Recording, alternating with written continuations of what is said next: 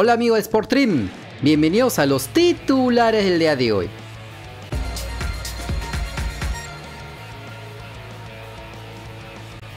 Por el partido del tradicional trofeo Memorial Quinocho, disputado en el estadio Abanca Balaídos, el Celta de Vigo de Renato Tapia vapuleó por 6 a 0 al Al-Shabaab de Arabia Saudita. El volante nacional estuvo en el banco de suplentes, pero ingresó a los 69 minutos cumpliendo una buena actuación, ya que el equipo rival estaba totalmente entregado y solo esperaban el pitazo final.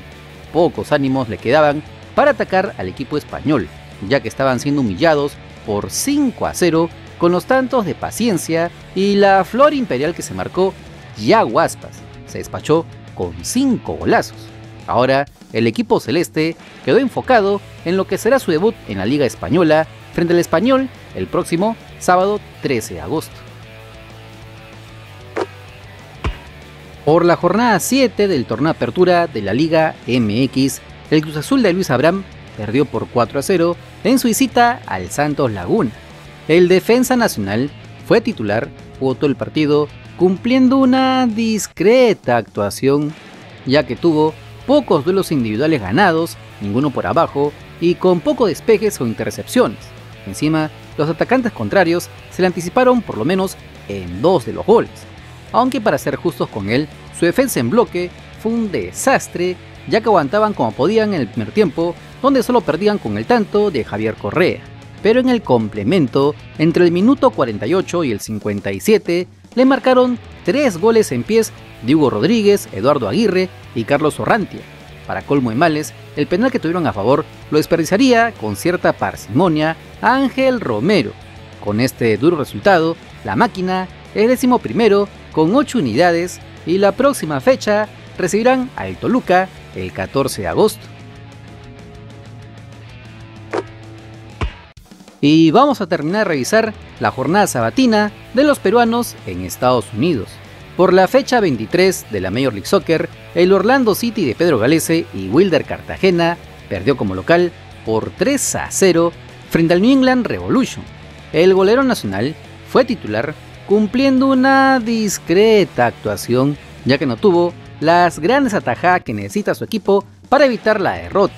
Encima de todo, puso las manos blanditas en el tercer gol visitante, donde algo más pudo hacer, aunque en los demás goles fue su defensa más amorresca la que dejó entrar a los atacantes contrarios como Pedro por su casa, mientras que el volante nacional se quedó en la banca de suplentes, pero no ingresó en todo el partido, que viendo lo parsimoniosos que son en la marca, sus compañeros deben ser titular rápidamente en el equipo de la Florida, que por lo pronto caen al octavo lugar de la conferencia este con 30 unidades y la próxima fecha visitarán al New York Red Bulls el 13 de agosto.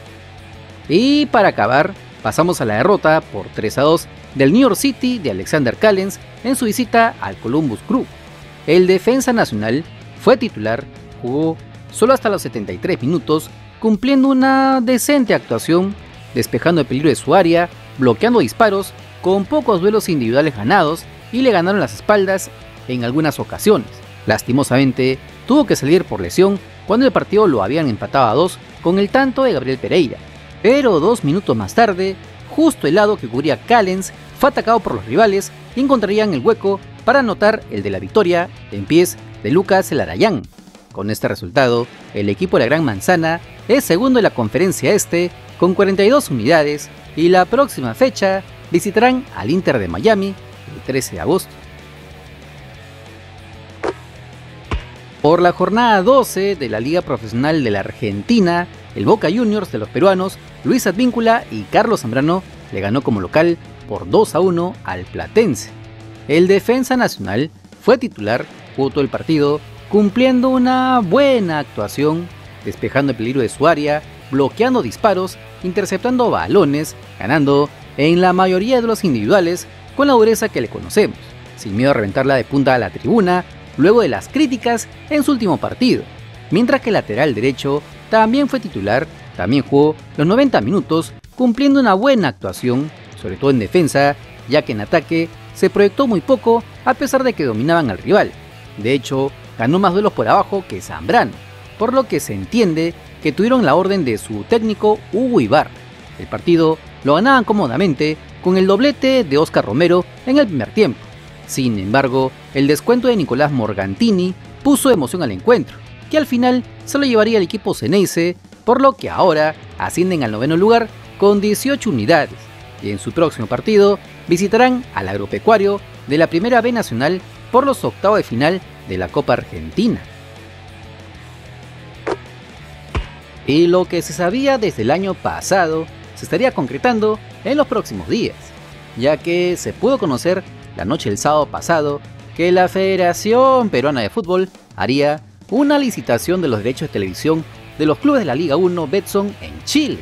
Este movimiento tuvo una respuesta inmediata por parte de la Asociación Deportiva de Fútbol Profesional, el ente que supuestamente representa a los clubes de primera división, ya que dio su descargo mediante un comunicado y sostuvo que este concurso podría tener graves consecuencias legales y fuertes penalidades económicas en los equipos participantes del campeonato local.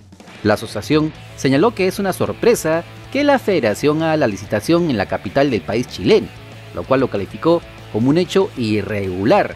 Además salieron con lo que siempre dicen, pero que nadie les hace caso, que la actual junta directiva de la federación no tiene poderes para actuar ya que no está debidamente inscrita en registros públicos.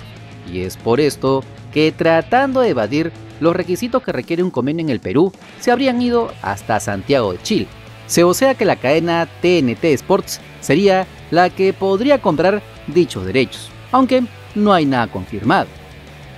Asimismo, la asociación indicó que existen penalidades que los equipos de la Liga 1 podrían sufrir en caso de que se interrumpa el convenio con el consorcio Fútbol Perú Gol Perú, ya que como se recuerda, aún existen contratos vigentes de algunos clubes con el consorcio, pero la federación estaría vendiendo todos los derechos a otra casa televisora en un paquete completo, pasando por encima de los convenios existentes. Esto fácilmente podría acabar en una demanda millonaria e internacional. Ahora, antes que los fanáticos peruanos se alegren porque ya no escucharán a los periodistas, relatores y comentaristas en el nuevo canal de fútbol, están muy equivocados. Será la misma chola con diferente calzón, ya que lo mismo pasó con Fox Sports en Argentina cuando desapareció. Pasaron a todo su personal a ESPN. En este caso, pasará lo mismo. La pregunta que de verdad importa resolver es, ¿el nuevo canal de televisión pagará más por los derechos de transmisión de lo que pagaba Gol Perú? Porque el mínimo que desembolsaba era de un millón de dólares por cada club, y en el caso de los grandes de Lima, la suma era de 5 millones para arriba.